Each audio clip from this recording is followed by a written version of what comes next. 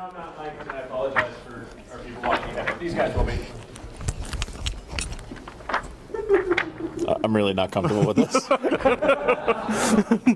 I will just speak loudly. Uh, so our next class is designing your network systems. We're going to pick up with a couple of things at the end of David's presentation, uh, and then we will jump right into all of that. Uh, two new people joining us now. Uh, first is Tracy Fitch, uh, who is Hiding. hiding.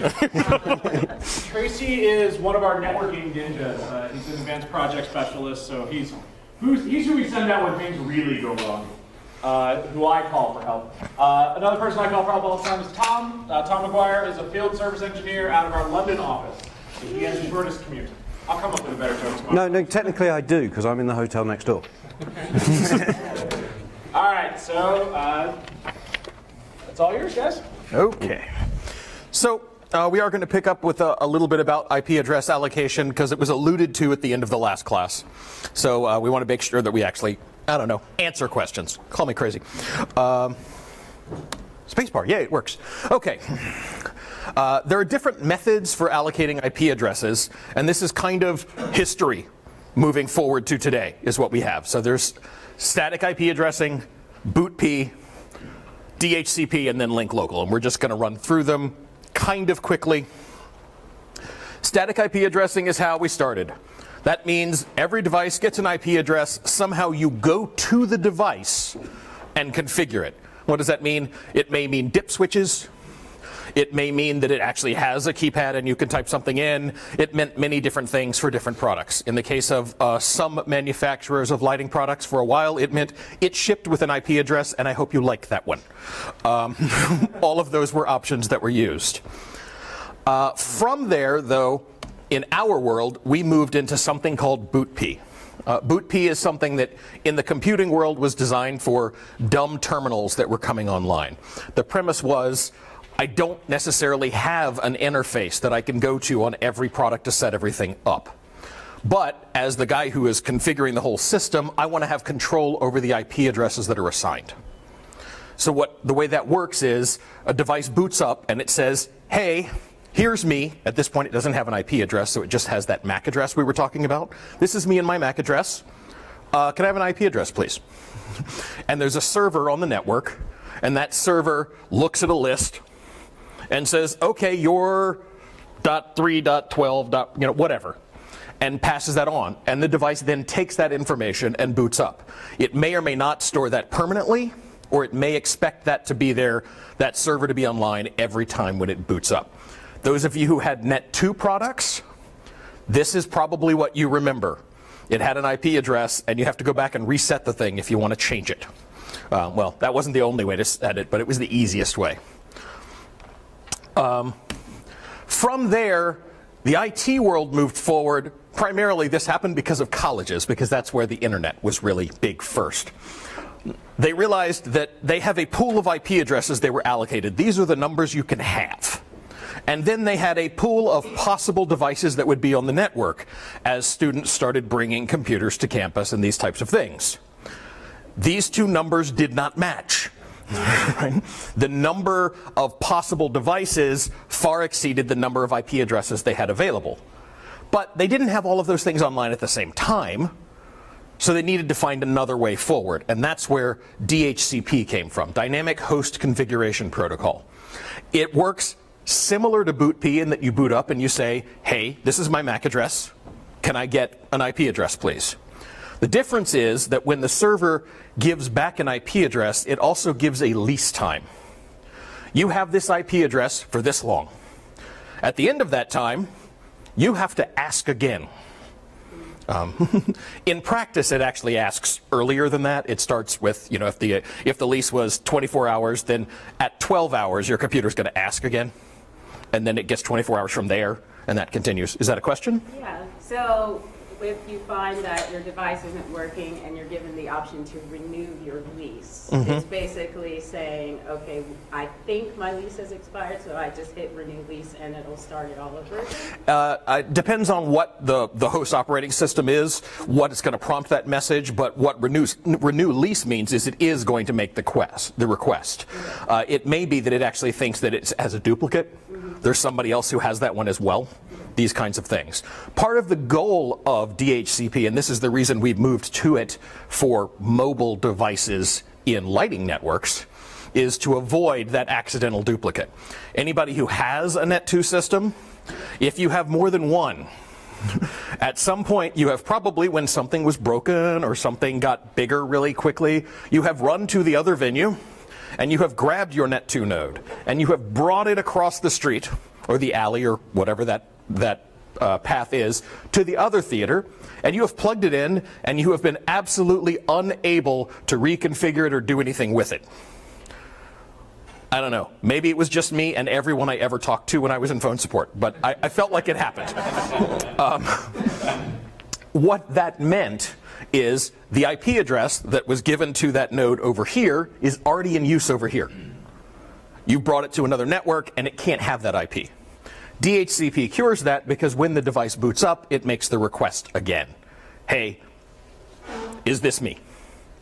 Uh, now, devices do have an option to store that lease information and bring it back uh, if they want to on boot, but they still have to make the request and potentially be told, no, you can't have that. Um, so, this is basically the process, which means you ask, you get something, you keep it until your lease expires, then you give it up. Um, some possible DHCP servers on an ETC network uh, EOS or wow, this slide needs to be updated. Cobalt family console, uh, a Net3 conductor, a computer with our gateway configuration editor. Null don't, I mean, lol, don't hit me for that still being on the slide. It's not my slide. Um, also, third-party DHCP servers. One of the things that's happened is uh, even when we were doing BootP, we were doing our own slight modification of how the world did it.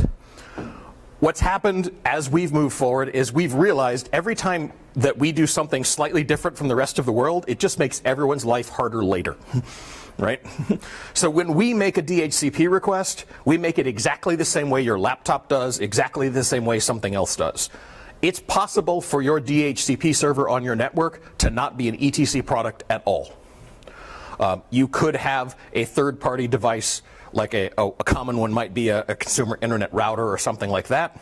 You could have something that your IT department decided would run all of the IP addresses on the network, and boy, I sure hope you like it. You could have any of those. It'll all still work. Um, the next step after that is something called Link Local. Link Local is uh, a great idea. It has some practical uh, uh, challenges to deal with. It's great in concept if you are starting from a network where there is nothing online. Part of the challenge of DHCP, right? We said you have to have the server there to answer that question. Okay?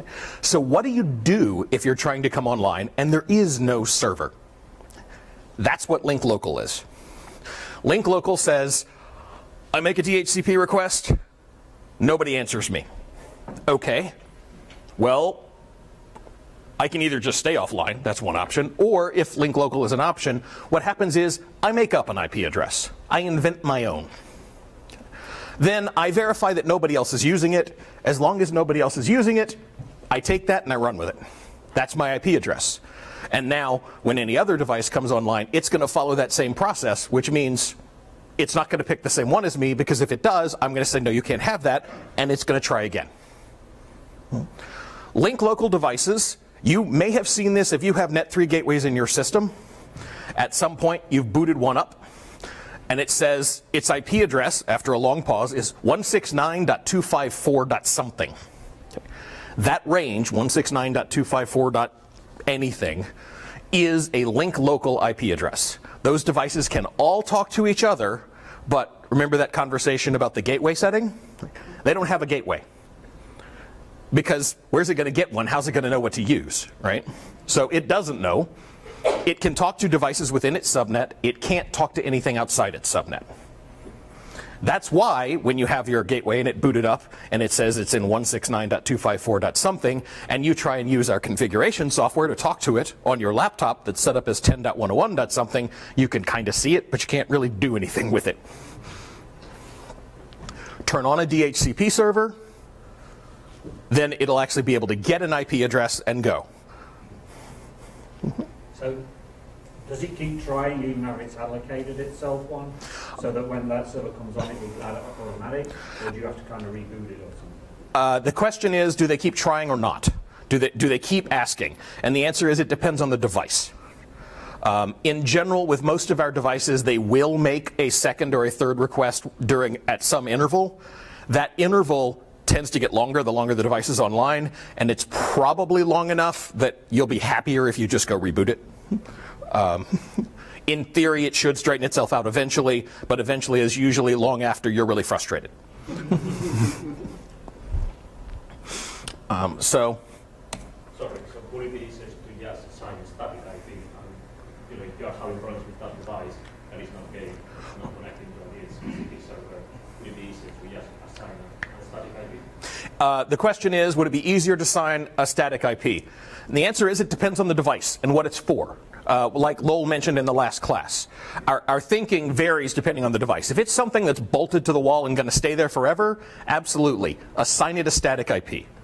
Uh, if it's something that's portable, like a gateway that you may move from venue to venue, from network to network, that's when DHCP is your friend. Or if you have a laptop that you move from venue to venue to venue, uh, then that's when DHCP can be your friend. Uh, because if there's a DHCP server on each of those networks, you will get an IP address that will work on that network in each venue. Does that answer your question? Yeah, sort of. It's, it's, if the device is having problems, it's struggling to, to get a, a, a dynamic IP. Okay. Uh, okay, so the other part of the question then is if the device is just having issues for some reason, depends on the device. I can tell you that we have some uh, features in concert that I'm sure you will see later that will help you assign a static IP to a device if you don't have a DHCP server anywhere in order to get it online. Um, In terms of DHCP servers uh, living somewhere on the network uh, and third party, even, Mhm. does ETC have a preferred uh, plan of attack? You know, as far as an RPU that lives in a rack and that's always on, so you're always able to receive the DHCP, or do you have a third party switch that you've had great success with in the past that you would recommend, or how, how do you guys ideally want, and then what do you see out in the field as far as? And the question is, what's basically what's our preferred system, and what are we actually encountering as far as a DHCP server? Uh, there's really two answers to that question. One of which will be a nice prelude to later in the day. Um, so the first answer to that question is, in a small console-centric system, you've got an RPU and a desk or something like that. Every one of these consoles that are on that other list that you're not looking at right now, um, the, the Cobalt family consoles, the EOS family consoles, have the capability to be a DHCP server. Typically, in that kind of environment, if there is an RPU that lives in a rack that stays on, that would be our suggestion. Make that one your DHCP server. Um, on a larger system, a larger architectural system, or something of that nature, we have a product called Net3 Conductor, TM. Or is it TM, SM? I don't know. Some kind of marker thing uh, uh, that can do that job for you. It's also the, a good solution for venues that actually power down all of that gear every night. Is it its own rack mount? It is in fact a rack mount unit that you will you will see later. Okay. Other questions? Then we're on to what's happening on the wire and Mr. McGuire, who was totally hiding Uh, I was hiding, side. yes. uh, yeah. Cool. Um, uh, so we're just going to talk about um, what data we're transferring, or what types of data we're transferring on the wire. We, we're not talking about protocols here. It's just how they, they transfer that information. Uh, and there are three. Uh, we've got broadcast, unicast, and multicast. Uh, and these, uh, the different ways of sending this will depend on how much load you're putting on your system or your devices. So broadcast is sending all of your information to every device on the network. Okay, uh, and it's great. probably works first time because you just send it and plug in, away you go. Uh, unicast is you're talking to a specific device. So I'm transmitting to one device and then I'm transmitting to next, the next device and then the next device and the next device. And at that point, you're now trying to talk to multiple devices in order. And when you're, say, sending something like DMX, you're transmitted to all of them, and then you start again. You're constantly transmitting that information. Multicast is the information is sent to a group of nodes. Um, it's just took it, I'll come on to it when we get to the diagram.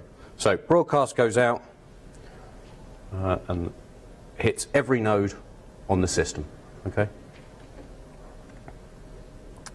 Unicast, so we're going from the TI to the Net3 gateway, straight connection.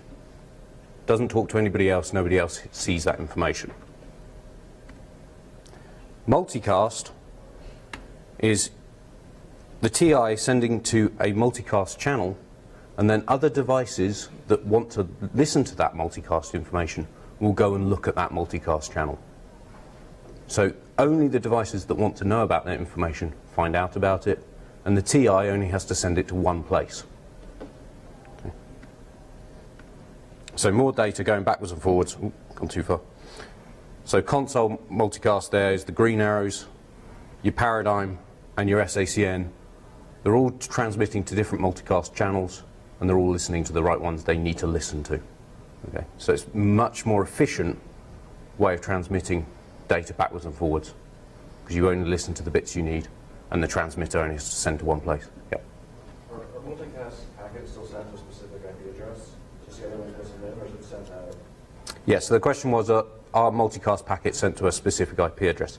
They are, and then every device will look to that IP address. So SACN universes have an IP address for each universe, and it will go to look for that right one. I can't remember the numbers. Tracy, do you know them off the Uh, it's 239.255, and then you break up the universe number into two octets. Why the distinction? What are the benefits to a multicast system versus broad if, if everything is getting everything? So the question is, what's the benefit of multicast over broadcast? The, the main benefit is that um, only the devices that want that multicast information will get it. And you're not slowing down other pieces of equipment that are having to filter through all this broadcast traffic to find the bit of information they want. So the, the shortcut definition of that is the node at the end of the line can have a smaller processor if it's on a system with multicast data than if it's on a system with broadcast data because it doesn't have to deal with all of the other data it doesn't care about. And you've got the reverse of that when it comes to unicast. The transmitter is not having to try and talk to all the devices. Are On the- net free products innately all of these, or how does it, how does it work? Depends on the bit that you're dealing with. SACN is multicast, and there's various other things that is all uh, probably unicast. Yeah. I, think, I don't think we do broadcast. Uh, we don't have much that's broadcast except native TCP/IP protocols. Any other questions? I'm going to hand back over to Tracy for Ah, okay. wireless. So, uh, one question that typically comes up once the term router gets mentioned, especially, is wireless communication. Um, and uh, I'm going to skip through one slide here because it's not my presentation. Uh, two slides. Okay, fine. Uh, wireless communication. How do I deal with a router in my system? How do I deal with the fact? Typically, the first part is right. How do I get my IRFR to talk to my console? That's really the question. We could, if we eliminate a lot of other words in there, right? Um, and the answer is you're going to put some kind of a wireless access device in. There are devices called wireless access points, and there are devices called wireless routers. A wireless access point is really essentially just a translator between wireless and wired Ethernet communication. Um, so they're simple, they're easy. You plug it on to the network, and then any device that connects to that wireless access point is immediately transmitting data through that wireless access point to the rest of the system. They're much simpler to work with. Uh, they are available in various levels up to a high-end enterprise-grade system that can be managed rather than going and configuring one or another. You configure 128 of them in one interface and say they're going to work together and do this. This is what uh, campus IT departments, corporate IT departments, and such deploy to do these types of things. The hard part about wireless access points is you're not going to find one on the shelf at Best Buy.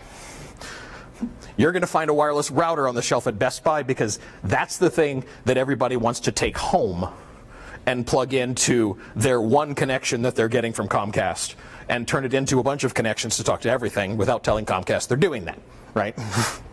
Actually, I guess they've mostly gotten rid of the extra fee for extra devices that used to exist. Wireless routers have the potential to be more problematic for us. They also have the potential to be helpful to us. It depends on how we hook it up. Okay. Because it's a router, it's smarter. It has more things it does, it has more things it can do. Sometimes it tries to outsmart us. That's when it turns into a challenge for us. So here is my incredibly uh, accurate rendering of the connections on a wireless router. Okay. They all look exactly like this with this color code, right? Uh, that's what everybody's seeing, I'm sure. Okay. Uh, there are two types of physical ports on most wireless routers. There's a WAN port, it may be labeled WAN, it may be labeled internet, it may be labeled modem.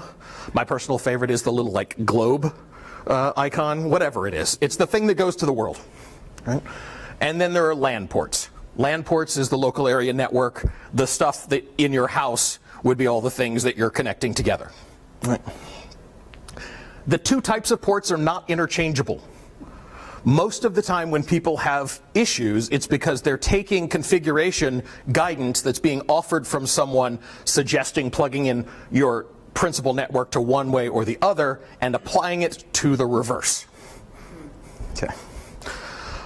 Um, I have my preferred way to hook up a, an IRFR wireless router. And it has to do with how these things come out of the box.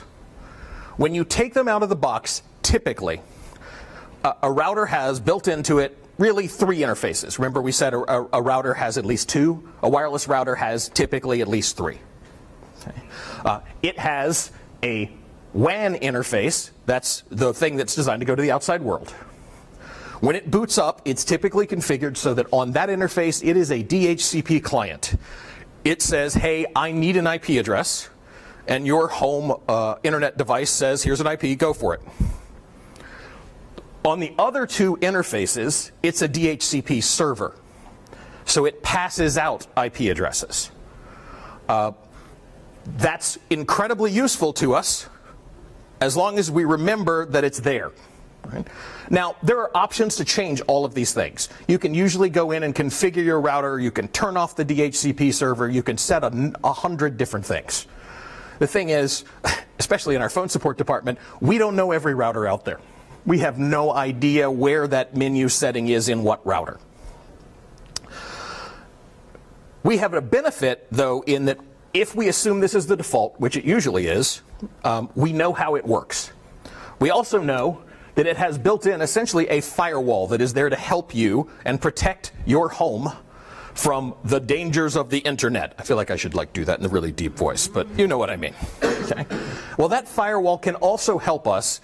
The tiny uh, consumer grade radio that's in your average wireless router is not going to stand up to all of the traffic that we send across a lighting network. Okay? Now, if you're on a network with switches that are actually working with multicast and able to, to filter things down, that's great. Okay. Uh, if you're on that type of a network, you also may have a proper managed wireless access point deployment. If you're on the router that you picked up at Best Buy, you may also be plugging into the switch you picked up at Best Buy. Uh, and it's not really going to filter that multicast traffic. It's still going to kind of pass it on everywhere. Okay. We need to stop some of that traffic from going onto the into the IR. I mean, not the IR, the, the RF. We don't want your phone to try and receive 63,999 streaming ACN universes. Well, I mean, maybe you do, but uh, I can tell you that that little that little router is going to do the thing that they all do every you know three days anyway, which is get really hot, overheat, freeze, and you're going to have to reboot it. Okay. Instead, we can block most of that communication, but still allow the kind of communication that we need for the IRFR app to go. Because the IRFR app goes out and makes a connection to the console from the inside out, the same way your computer goes and makes a connection to CNN uh, to get a web page or anything like that. So here's how we recommend you set this up. Okay. You have your network. It's still that great cloud. I love it. Um, all of those devices are the same ones you were looking at before. And then you have your wireless router. You take your wireless router and you take that WAN port and you plug it into your standard network. On this network, I'm going to assume the TI is configured as a DHCP server. So that means when that router boots up, it asks for and gets an IP address of 10.101.125.101. That's the IP address it has on the interface going to the network. What freaks people out is they then take their phone and they connect to that wireless access point, and it says, I got an IP address of 192.168.0.1. And they go online and they go to the Facebook programmers group, right? and they say, well, I'm trying to communicate. And somebody says, well, but your console's IP address is 10.101.92.101. That's not going to work. Here's the thing. Remember what routers do for a living. They connect networks together and send the data between them. In this configuration, that router knows this network over here is this, the wireless network is this. I can send the data back and forth and it's just fine. The other great thing we like about this configuration, that wireless router over here, first of all, is not in the middle of your system. I don't know exactly how much you paid for all of that other gear over there because I'm not in sales. Um, but I bet you it's enough that you don't want to risk its performance on the $39.95. I think that router has changed price every time I've mentioned it, by the way. But you don't want to risk it on that device, right? That thing you know is going to overheat and do all of those things that they all do. The other benefit to having it over there off to the side like that is yeah, I've, I've talked to the people who say, yeah, okay, now always on opening night or you know final dress or something, I got to rename the console because I know the students all have the IRFR app, and so that's the password to control the thing, and I don't want them doing that during the show, right? What's the easiest way to handle it here? Unplug the router. there is no wireless connection. Problem solved. Plug it back in for, for dimmer check, unplug it again later. So that's uh, wireless stuff in a nutshell. Any questions about any of that before we move on? Excellent.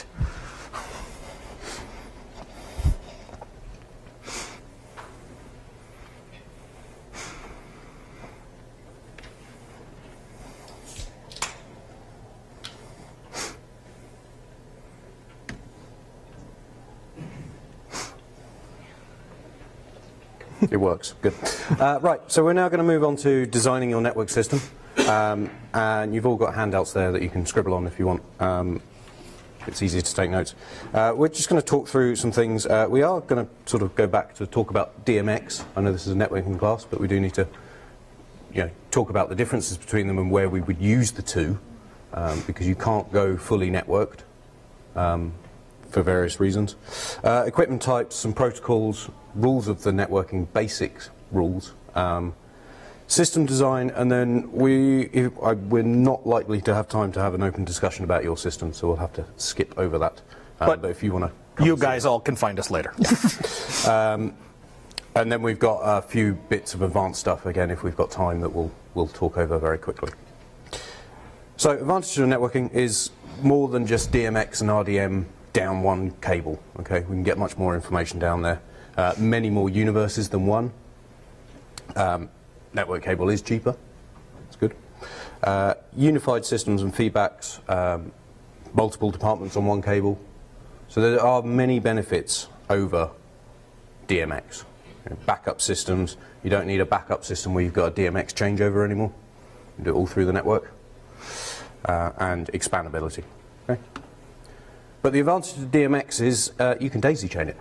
Uh, you cannot daisy chain network. Uh, we had a question yesterday about fixtures that can daisy chain network. but what they've got is little two-port switches in them. Okay? What happens if you turn the first one off? It stops the chain. What happens with DMX when you turn the first one off? It continues working. Okay? So there are those benefits. Much more further cable. We can go further than 100 meters. Um, and normally tougher cable. There are some shielded and tough Cat5, but that's quite expensive. Okay. So, best, best of both worlds. Network in the wall, your DMX doing your last mile to your fixtures. Okay? So running DMX along your LX bar rather than 12 bits of Cat5, one for every fixture, going back to a switch. Okay? So we've got different parts of our system, um, the control, the power, and the gateways. Uh, and we've got various network bits and bobs there. Uh, so we have a Cobalt, TI, uh, our architecture ones, and the color source AV console. We haven't seen, that does network as well. Power controls, our sensor racks, uh, sensor IQ, DRD racks. They're all network and they have advantages for feedback and things like that that we can do. And then all our gateways, which you saw in David's presentation, uh, all the differences of those. And then the switch in the middle. So plugging it all together and tying it all into one big network. Okay? So let's talk about protocols. Uh, I'm sure you've all heard Net3, SACN, ACN, uh, and some of you may be confused about it. Uh, I know I still come across people that are confused by the difference. Uh, that's worrying that you're confused by it, but there we go. we'll, we'll move on. So ACN is a standard. It's the Architecture for Control Networks, E1.17. Uh, if you want a dull read, feel free to read it. Um, so this is uh, a standard that was brought out for configuration, feedback, uh, show control, various stuff that everyone can use all at the same time. Great. We can all talk the same language. Uh, problem is, not everyone uses it. Good for standards, eh? Uh, what came out of that, though, was the SACN part, and that is the DMX part, the streaming ACN. And this allows us up to 63,999 universes, theoretical universes. Um, not one product I know of can do all of that together, but we do have a product that can do 1,500 of them. There's a plug for LOL. Uh, so if you need lots of universes, we can do it. Um, but it's not got any of the monitoring or reporting that ACN has got built into it. Okay, so this is just the DMX bit, and this is what you find in most products that are doing DMX over the network. Okay, um, and it is multicast, so it's lightweight. So again, that's why we have these IP addresses for the universes and you're sending to. Um, one thing to be aware of is that because it's multicast, it is not held by the bounds of your subnet. You're transmitting to an IP, an IP address. Anything on the network can go to that IP address and get that data, whether you can talk to it or not via configuration. And we'll come on to the problems with that later. One nice thing is part of the standard, it has a priority. So the standard says you have a universe priority. Highest priority wins, any anywhere between 1 and 200. Um, we actually expanded that out to add per address priority. So you can actually split up who's in control of which bit of a single universe if you want to. And some of our products allow you to dynamically change that during operation to give you some very nice control of things like house lights. Okay. So how does that work? We've got a, two ions, both at priority 100. One's outputting channel uh, 51 in red, one's got it in blue, and we end up with the fixture in purple. Has anyone plugged two consoles together and uh, found they could only tilt and pan their moving light up, but never go down? yeah, that's because you've got another console on that's at 50-50, so you cannot go below that. So to solve that, we use priorities. Our first console is at priority 100, our second one is at 110, and the second one wins. So our fixture is in blue. Okay. So uses, as I said, was house light switching. Yes, question. I mean, I would think in my head that that would not be best practice, that I, I would want to identify that those two consoles are, because at, at that point, it's probably both of them are primary, is my guess, Yeah. you know, so, This may be where you've got a touring desk coming in okay. and you don't you want to stay in control of certain things and you don't patch their rig so you don't have control of it. So I can leave my house light controller set at a higher priority and then, Yeah. Then they can't override. It, it also gets used in even simpler shared control environments, like typically between the desk and the architectural system in the building. Everyone happy with that? So SACN and ACN. So our SACN is only going one way from our console to our dimmer. The ACN is going both ways. So that's allowing for the configuration and the feedback from our dimmer into our console.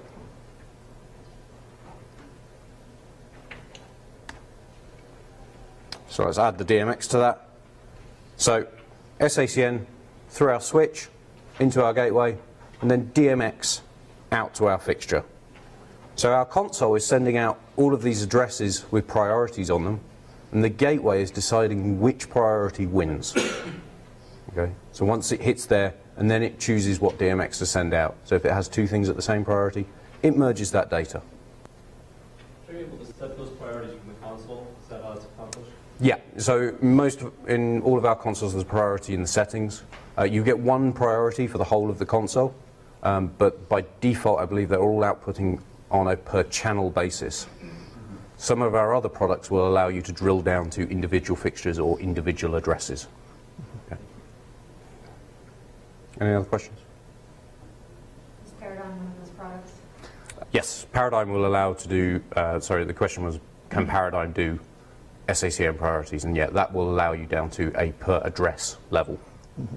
And, and we use that commonly in Paradigm installations to give and take control, not just of the house lights as a general concept, but of especially when you start having color mixers and things in that avenue. Because those are the times when you really have to be sure in, who's in control, right? For dimmers, highest takes precedence usually makes everybody happy because you just turn the other thing down. But the problem is getting green from one source and blue from another source gives you a color that neither person wanted.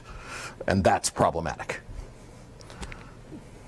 And the per address side of it allows us to actually have one source setting the color and the other source actually controlling the intensity.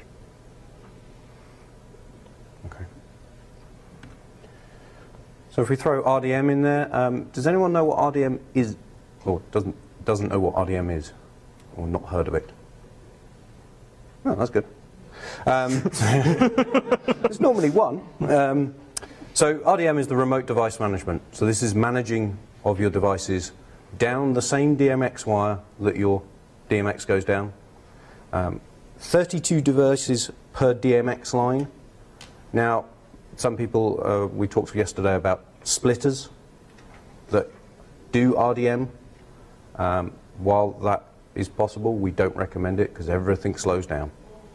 If you've got 32 devices on 10 outputs of a splitter, that's a lot of devices and it's not a very fast protocol because it's got to fit in the gap of DMX. Everything gets very slow very quickly. And the other part is that is to remember there are different kinds of splitters. The one that you can pick up for 59.95 or whatever that number is at Guitar Center is probably a DMX splitter.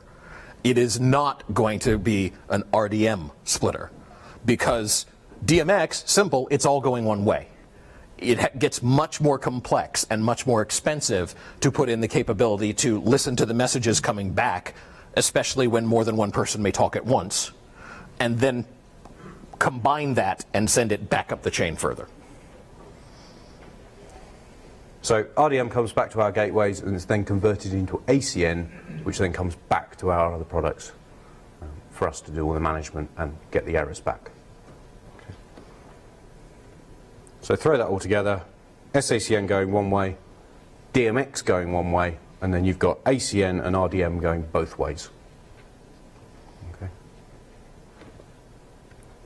So how do we do this in the system? We have a control, SACN out, network, there's our cloud again, DMX to the fixture. Nice and simple. Let's actually do it with the console. SACN out to the gateway, DMX out to the fixture. Do you guys still have a bet running on that? Uh, well, no, we already we already solved the, the. The joke is that that particular gateway is the wrong gender, um, and Lowell swore that he's been using that for years and no one ever noticed in any presentation ever. And we put it up for the first time, and Tom went, "Well, I see one problem." Sorry, Lowell, I cost you money. so, our larger system, uh, we're going to plug in some more gateways into our switch, so we might need a bigger switch. Our console has got smaller. We'll point that out. um, so, you, in the previous example there, where I'm just going to go back, that's a eight-port switch, so you can only have eight nodes on it. When you go above that, you're going to need a bigger switch or multiple switches. I would suggest just a bigger switch, if you can get away with it, is better, rather than multiple switches.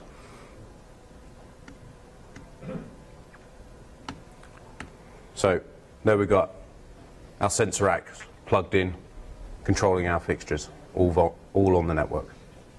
Okay. Any questions so far? Adding to that, we could add our conductor to our large system to allow for some management um, of various products and things going on. And you'll find out more about that later on. yes, this was the gratuitous plug portion of Yeah. the class. and then the conductor could be connected to the real world. Okay, remembering the rules. Star topology, 100 meters or 328 feet. Um, no loops, no management. Nice and simple. Okay? Does everybody understand uh, the concern of a loop in a network? No. No. Okay. Because we mentioned it here, and we realized yesterday it was like, oh, there was probably an illustration we wanted. Um, but yes, yes, I do. Okay. Imagine you're working in a facility, you're getting towards tech, everything is going along, and something's gotten unplugged, reworked, three or four things have moved, and at some point, someone helpfully comes along. They see a cable laying on the floor. They see a jack next to it. They pick up the cable and they plug it into the jack, right? Because obviously that meant to be there. Clearly. Yeah. But what they don't realize is that it didn't mean to be there because that cable runs 70 feet across the stage. It, well, it definitely runs less than 328 feet across the stage, right? Um, and plugs into another jack that is coming from the switch. So in effect, what they've done, it's all obscured by building wiring, but in effect what they've done on a little teeny switch level is they've taken this port, they've taken a cable out of it, and they've plugged it into that port. The communication we're talking about, the multicast communication, broadcast, even the unicast packets, the way the switch is, is handling it is it determines this is coming in, somebody who is connected to this other port over here said they need it, one way or another, so I'm going to pass it on. So in this scenario, what's happened is the packets go out over here. They come in over here. The switch says somebody on this port said they needed that. So the switch sends it out. And it comes around, and it comes back in, and we can continue to do that game forever. Or typically not forever, because sooner or later the switch overheats and dies. right?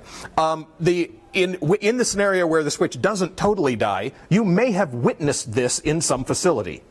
Uh, you may have witnessed the situation where, so, as somebody was reconfiguring things and replugging stuff, they got to the point that they can turn dimmers up, but they can never turn them down. That's one of the signs you're looking at this kind of situation. They've created a loop in the system. And here's a best practice for that. If you're finished with a network cable, take it away. Okay? It stops people not knowing what they're doing, plugging that back in for you and trying to be helpful. Okay. Um, so we just said no loops. Oh, sorry, question. So creating a loop isn't an end all be all, destroy it unless you uh, leave it there for a long time. the question is whether creating a, a loop will actually destroy it or not. The answer is it really depends on what you have as your network gear. In almost every case, undoing the loop is going to either solve the problem or get you to the point that rebooting a couple of devices will solve the problem. It's pretty rare that you're going to do permanent damage, and if so, you probably had a really cheap switch. Um, Uh, so we've just said no loops, um, and now I'm going to con- contradict myself and say actually in complex systems you can have loops, but there are certain provisos to that and certain bits of management that needs to be set up for that. Okay, so your cheap switch, don't buy three of them and just plug them together and go, yep, got myself a loop, it'll all be good. No. Um, so, but that management that needs to be set up needs to be set up correctly for our networks. Um, standard IT networks will probably cause you issues. Okay, so you might need, if you are working with your IT guy, you will need some information from us of exactly what needs to be set up, and we can provide that. So just give us a call and we'll discuss it with you. Okay? So let's look at this in a theatre. Uh, if we've got a booth, a front of house position, an electrical room, and a stage, put all our network jacks in on the wall. Um, we're actually going to need three network jacks in the electrical room because we have three dimmers. Okay, so they need to be all plugged in. A switch to connect them all up to. And then our devices will plug into those network jacks. And again, this is where labeling your ports with the length is helpful because then you know how much more you can put on those ports.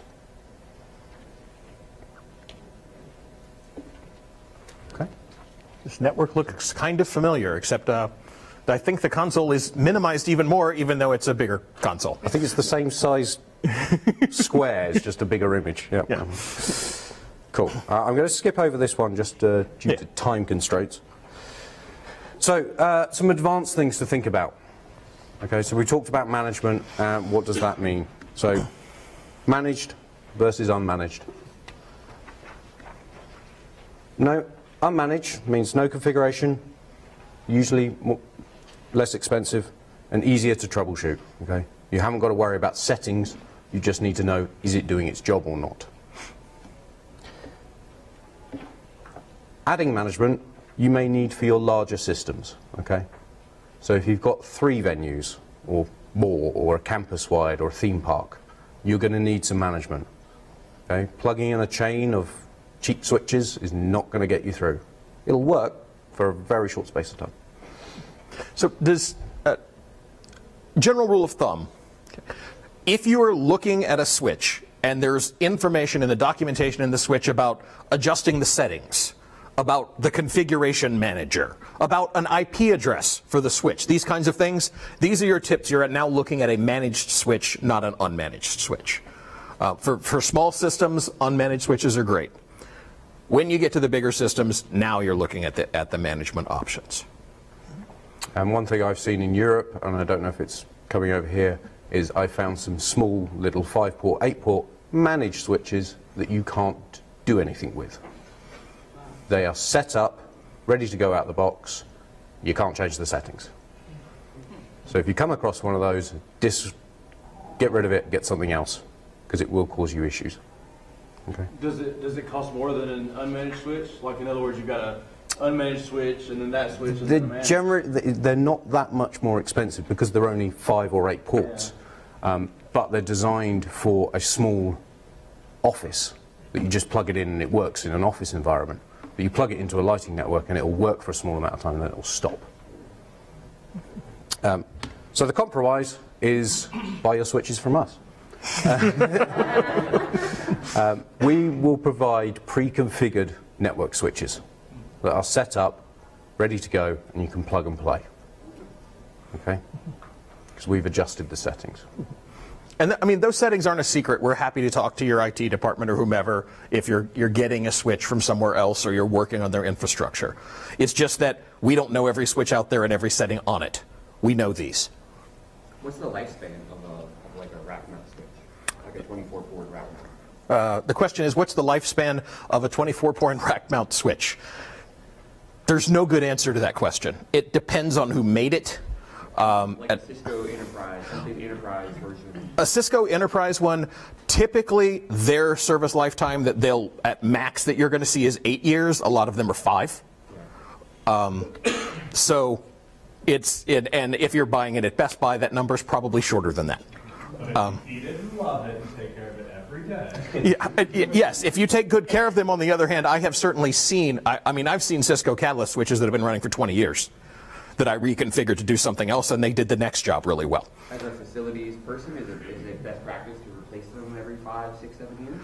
I would ask, especially in the case you're, you're actually with uh, educational institution, right? I would ask your IT department what their policy is, and just follow the same rules they do. Um, it is probably something that you may update on. A, you're certainly going to update it on a more rapid basis than you're likely to update your dimmers. I'll tell you that.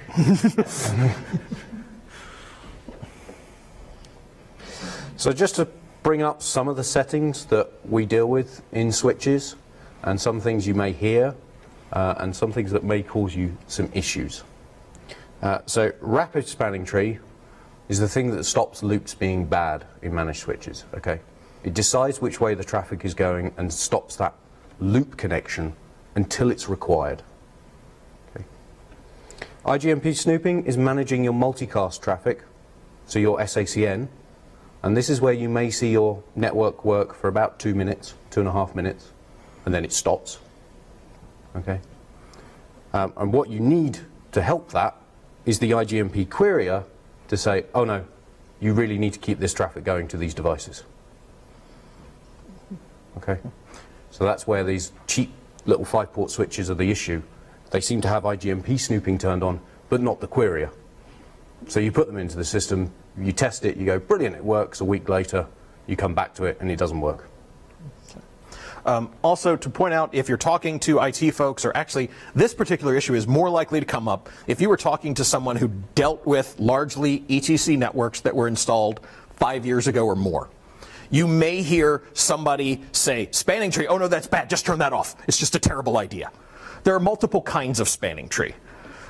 Years ago, they developed a first generation of spanning tree, which was a fantastic idea. The problem was it didn't send any data out the port until it had confirmed there was no loop in the system. The interval of time involved was roughly long enough for you to plug it in and determine that port didn't work and unplug it again. um, uh, rapid spanning tree works differently. It starts passing data essentially immediately. Uh, and then will shut off the port later if a loop is, is detected. So rapid spanning tree is what we recommend because it doesn't result in aggravated technicians assuming every port in the building doesn't work. Okay, so when should you be using managed or unmanaged? Will depend if your um, one thing is your system is connected to fiber optic. A lot of fiber optic switches now are managed. I don't know of any unmanaged fiber optic switches. Uh, there are a few that are just protocol converters, basically. Yeah.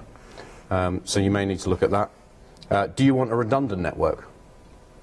Do you want it to be, you know, if you cut through one cable, will the rest carry on? We'll come on to that. Uh, are you linking multi multiple spaces together? So David said about the whole turning channel one on in one venue and it comes on in the other?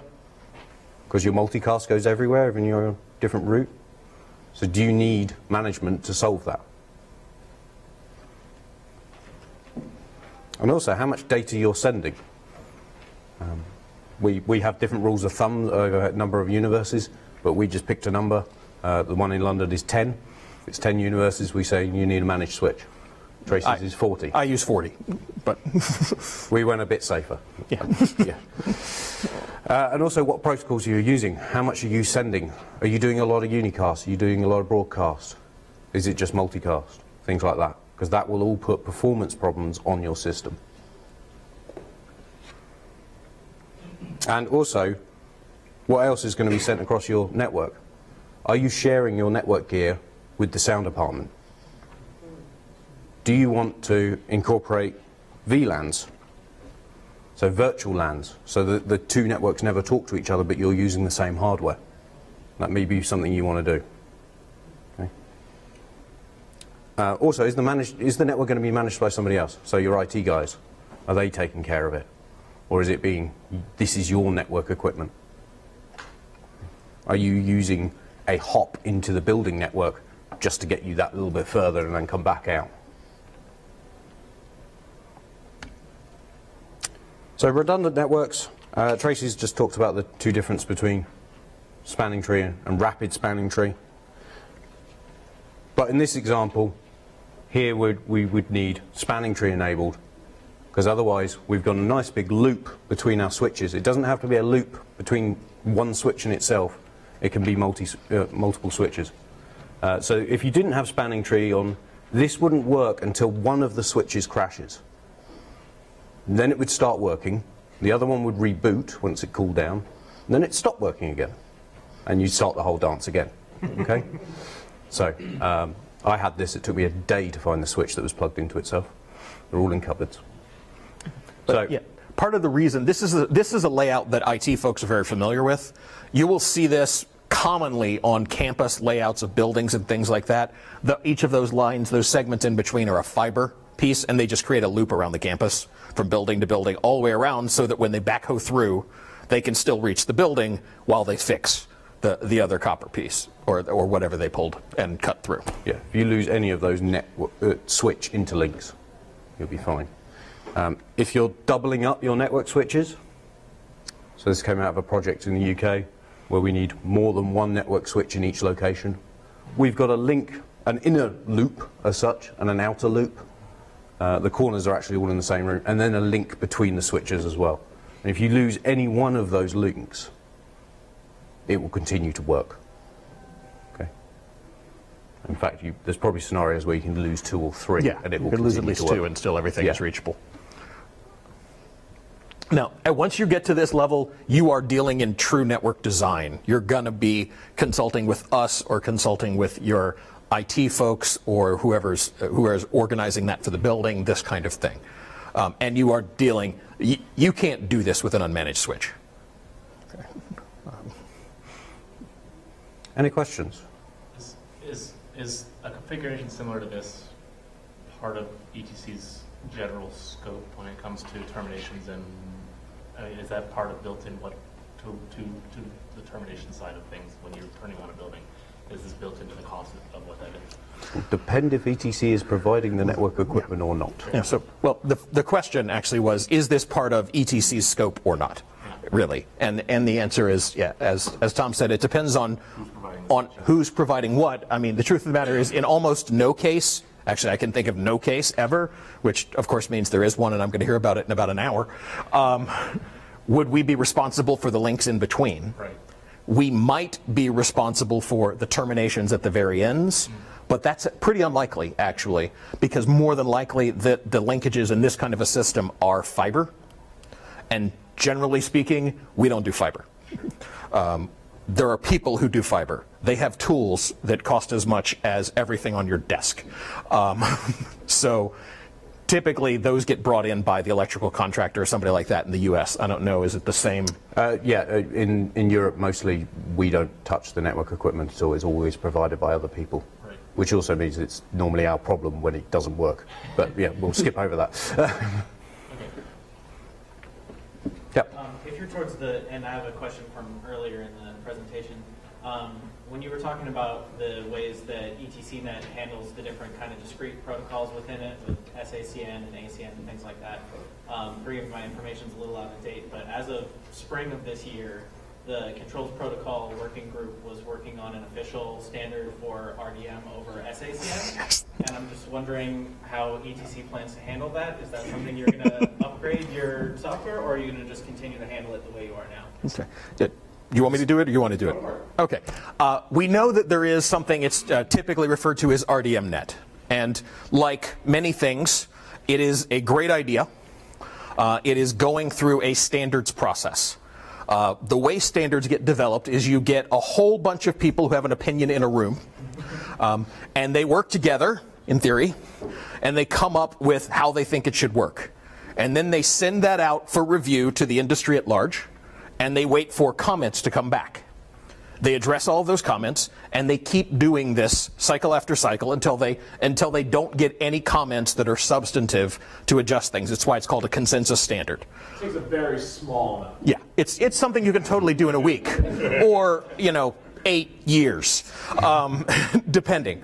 Um, because we already wanted to address RDM and we wanted to be able to reconfigure things, we moved forward with our own implementation of RDM communication across the network inside ACN. So we are using the ACN structure to carry RDM messages back and forth right now. It is not what is proposed as a manufacturer agnostic RDM net approach for later. Uh, the truth of the matter is, and Lowell will correct me if I'm wrong, uh, the truth of the matter is we don't exactly know what that standard is going to look like yet. Um, we hope that we will be able to support that um, in even our existing gear. But we can't say until we know what it actually is.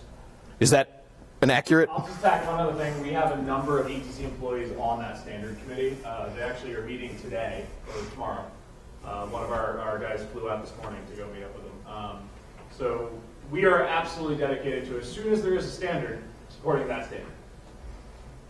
But until we have a standard, there's not a whole lot we can do. Any other questions? Has anyone got any issues they've had with their system that we might be able? to, We've got 10 minutes, I believe, so throw them up. They're all very quiet. Okay. Oh. I've given him my RVI for every now and again, but every time we do it, uh, every day we had to uh, go pinging for a new IP address for that IP or for the RVI. Okay. Every time we booted up, it wouldn't connect with his Ion until we went into Shell and started for open IPs again. Bonus problem, it, his lighting network goes through the building network too. Okay. Um, so you're saying that you you're saying that well, first of all, to restate the question, uh, uh, an RVI that's loaned to another facility and then comes back, and you're No, the whole time it's down at his facility, every day when we turn it on, we have to go searching for a new IP. Uh, so the okay, so the part is that every day when when you boot it up, does it you're you're getting a message saying there's a duplicate IP? No, it it just won't connect to the Ion. Until you ping it? Yeah, we have to go ping for a new IP, Um, change the RVI's IP every day. One thing to check would be in the About window, when you first boot it, whether it shows an IP address. Okay. If the console doesn't see a network when it loads into the main software, Oh, that's true. Yeah. it will shut down, it won't get an IP. So it may be you're just dropping back to the shell and coming back in. I actually know exactly what that is. Uh, when your console restarts, it redetects that network port. So if Yeah. you change your order of operations, start up the other one first, you should be fine. Okay. Uh, or just exit the shell and go back in. Yeah, it's yeah. More than likely, it's actually the exit that's helping you, because the network then the network has initialized. So in this case, on the switches you're connecting to, it may be that they're just slow to initialize the port. But there's nothing in that console that would require you to change that to everything. Yeah. that's fact, it's quite the opposite. So, so if it's if it if the port then is initialized by the time you go in. So one of the ways to check that would be when you boot it, just tap the. Uh, are you going to EOS? Yeah. Okay, just tap the EOS logo so it stops. Give it a minute, go check in the settings and be sure there is an IP address before you go any further. And be sure it says that the network is active and then try and go in. And if it works, then that's probably what you're dealing with is that it's just taking a long time to initialize the, the network interface. What, what, what what would cause, how would you remedy the, the distance of time or the amount of time? Uh, how would I how would I remedy that? I would talk to whoever's providing the switch and ask them to get us a switch that would come up faster because it seems like it's taking forever. And it may be that, that this may be a situation where you may be dealing with, and this is something we're starting to see in converged networks. Um, you may be dealing with a situation where they have a security protocol enabled on that port, and they're having to go through multiple levels of the security protocol in order to fall back to the level of access that they grant when you don't have a campus computer uh, hooked up or something like that. Um, and then they may be able to, if that's a dedicated lighting port, instead set it so they bypass those security protocols and just hard code it to go to the lighting network. Does that make sense? Cool. Uh, any opinion on best practices when uh, the audio guys would like to share a little Dante network on your lighting network? Oh, Dante. First best practice. You need managed switches um, at that point. I, uh, so, so every venue has a ETC provided Mhm. enterprise switch that is currently configured as unmanaged. I guess so. We, I can certainly manage the switch, but any best practices on how that should be set up? Uh, okay, the question the question is uh, a Dante network wants to share and run across the same backbone on managed switches. Um, and how do we recommend you do that? Uh, the first recommendation would be uh, remember, we talked about what a LAN is, right? Local area network. Okay. There's the concept of a VLAN, which is a virtual local area network. It essentially allows you to take, say, two switches that are on opposite ends of the building that have one link between them and pretend that you have four switches that are on two separate networks instead of two switches that are on one network. So you have a lighting network, you have an audio network. And you're typically going to VLAN between those. And in that case, the ideal would be there's no there's no access to cross between them. You don't need a router to send anything back and forth. You don't want anything to go back and forth. Um, where you may run into challenges with Dante specifically is Dante's network timings are incredibly tight, um, tighter than a lot of video streaming. Um, and you may have challenges, you may have latency introduced that the little Dante thing will just tell you there's jitter and it's not happy. Um, the only way to find that out, I'm sure there's someone who can run the computations, but my answer would be the only way to find that out would be to try it. But you should be aware that uh, if you start, if, if, for example, you involve your IT folks and you start playing with this, one of the things they may ask about is another thing that can be in network packets called QoS, or quality of service. Okay. In all of the lighting protocols, we do not set any quality of service. Our assumption and what you want for your lighting network to work is all of our packets should be transmitted immediately. Um, but we don't rank and give them a hierarchy of which ones are more important and less important in the way that, say, the folks who do voice over IP do. So what you need to be sure is that if they start streaming more and more Dante, they can't actually choke down your lighting network so that your data doesn't get through there. So you would need some configuration of bandwidth allocation to each side so that there's a guarantee for everybody that their data gets through. What do you recommend bandwidth size for a standard lighting network with like six, I guess four or five? Yeah, and, and the question for that, the question is uh, maximum, uh, what would we recommend for bandwidth? It's totally variable depending on the gear. We could talk later if you want. Yeah. I kind of have a similar question. So we're, you know, let's say we're putting in LED lights, we're needing to put in, you know, new RDM switches and, and all this, right? At the same time, we also want to upgrade our comm system, which is 20 years old. And then, you know, you buy Clearcom, you buy ASL, anyone, they're all like, oh, you need a router and a whole package. And we update our console, uh, uh, mixer. Mhm. And it's the same game, like, so I just kind of like wonder, like, do I really seriously need to put in three separate networks in the same venue? Mm-hmm. Or how much can you really traffic in there? You know, it, it's kind of a, when I talk to com people, they're like, oh, you can only use twenty devices and you're done, that's it, you can't do anything else. It's, it's, they have like a severe limitation. This is a conversation that comes up a lot. Uh, has actually just formed a committee to sort of discuss this and talk about best practices, which for some reason Tracy and I got invited to, which seems like a silly. Um, so we're, there is no hard and fast easy answer to that. Uh, there are a lot of things that we know, sort of talked about that we, we could try, um, but depending on what your switch is, depending on what your infrastructure is, how old your wiring is, there's so many variables. Um, what I will say is we have a fabulous phone support department, tech support department, and we also have an app application engineering department, which goes really deep into some of that stuff too, which are always available to help uh, for anything that you might need there. All right, well, I was just going to jump up because you guys are wrapping up. Any other questions real fast before we call? All right, well, thank you very much. Uh, that is our morning. Uh, lunch is being set up outside for you guys. Please do remember uh, class evaluations either in a paper on your app. Uh, and if you are looking for an ETCP certification credit, forms are up here for this class.